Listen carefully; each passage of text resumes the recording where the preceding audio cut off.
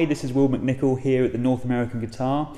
Thrilled that you could join me for another instalment of the Composer Series. This is where I take one of these wonderful guitars and write a short piece on the instrument for the instrument, inspired by its particular tonal characteristics and personality.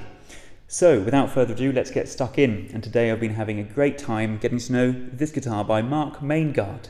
It is a grand concert model and it has got Brazilian rosewood back and sides with an Italian spruce top. It's been an absolute joy to write on this. So what I'd like to do first is play you what I've come up with, and then I'll discuss a little bit about some of the compositional ideas the guitar gave me as I was writing. So here we go.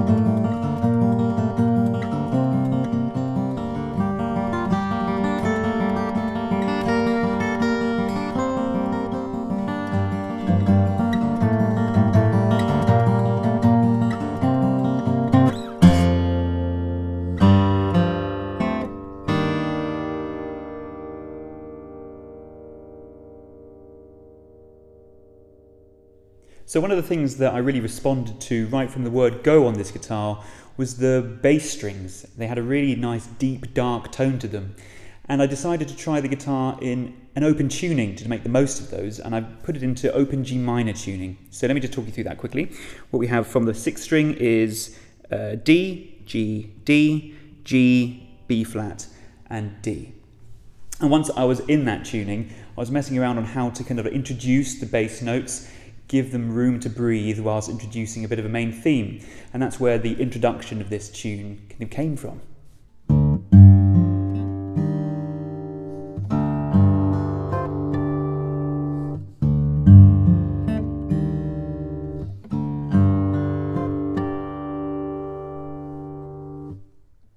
Another thing I really enjoyed exploring on this guitar were the really resonant mids and incredibly articulate trebles. And that was the inspiration for that quite rhythmic main theme that made the most of all the strings.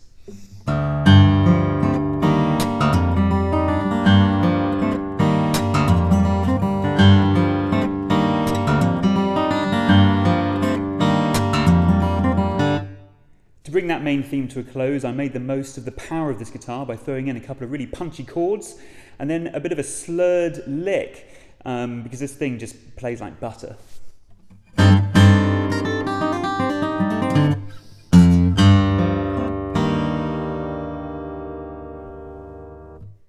Bring the first section of the piece to a conclusion, I decided to make the most of this lovely Florentine cutaway and get up the dusty end of the neck.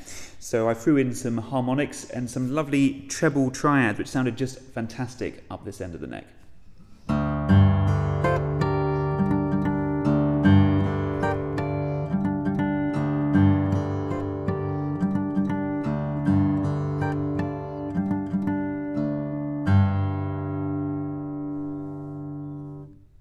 There was one more feature of this guitar that I really wanted to make the most of, and that was the really lyrical quality of these trebles. And that's where that final contrasting section was inspired by, giving those treble strings a little bit more time to sustain.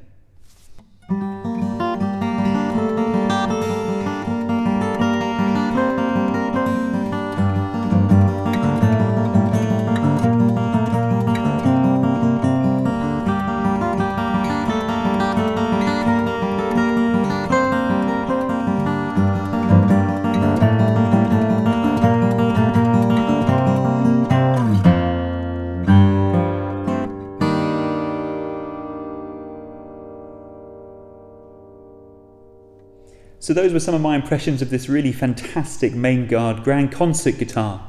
Don't forget to subscribe to the North American Guitars YouTube channel, and if you'd like to find out any more information about this instrument, please visit thenorthamericanguitar.com.